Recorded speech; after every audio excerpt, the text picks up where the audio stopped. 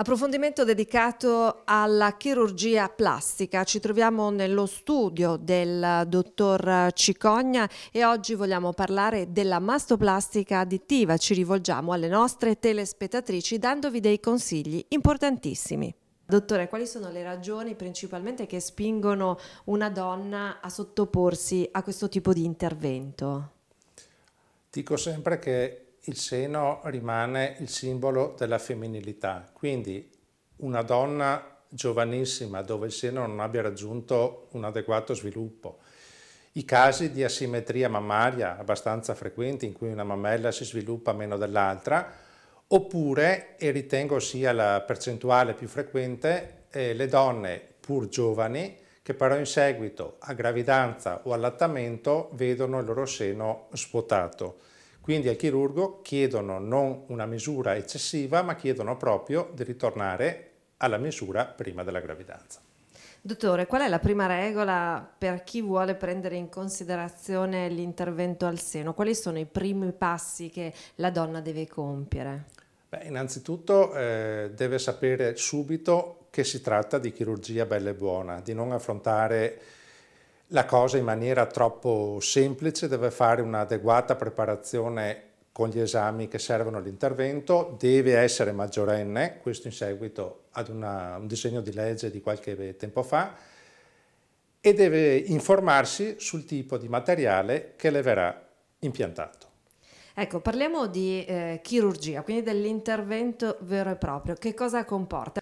L'intervento deve essere sempre eseguito nelle condizioni di massima sicurezza, per cui personalmente preferisco sempre almeno il ricovero di una notte in clinica dove la paziente può essere tenuta assolutamente sotto ogni controllo. Ecco, quanto dura l'intervento? Un intervento di mastoplastica additiva semplice dura fra un'ora e un'ora e mezza. E i tempi di recupero dopo l'operazione? Si chiede che per 15 giorni la paziente non faccia movimenti eccessivi con le braccia, non sollevi pesi importanti, non esegua attività sportiva. Dopo 15 giorni invece può riprendere in pieno la sua attività sia lavorativa che sportiva. Passato trascorso questo tempo ovviamente la paziente torna da lei, torna a rivedere, il risultato si vede immediatamente. Diciamo che eh, con le attuali tecniche e con la tecnologia ora esistente addirittura possiamo creare il seno su misura, ovvero nella prima visita che si ha con la paziente si misurano le sue caratteristiche fisiche, la larghezza del torace, la base del seno, la distanza fra lo sterno del capezzolo e possiamo esattamente usare la protesi che la paziente richiede, per cui il risultato è già prevedibile.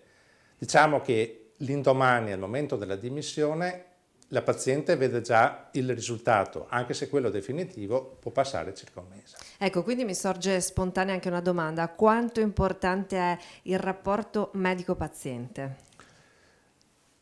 Fondamentale, soprattutto in un tipo di chirurgia che non è necessaria e dove deve esistere fin dal primo istante un certo feeling fra il medico e la paziente. A volte spaventa e blocca la donna eh, magari eh, la paura del dolore. In questo caso come... L'anestesia ha fatto passi da gigante. La durata del, dei farmaci è esattamente quella che serve per l'intervento. Dopodiché la paziente già nelle ore successive è già direi perfettamente cosciente e in grado di alzarsi e di riprendere a deambulare qualche ora dopo l'intervento. Dottor Cicogna, l'intervento di mastoplastica additiva è per sempre? Dipende dal tipo di protesi impiegata.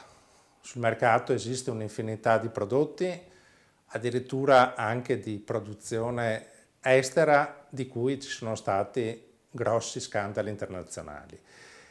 Attualmente però esistono protesi di ottima qualità che la ditta produttrice fornisce di garanzia a vita, cioè in caso di deterioramento spontaneo la protesi viene sostituita e queste protesi possono essere tranquillamente eh, portate dalla paziente per tanti tanti anni.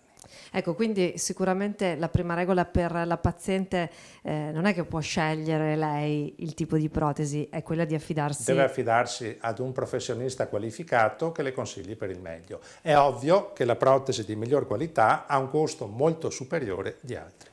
Grazie.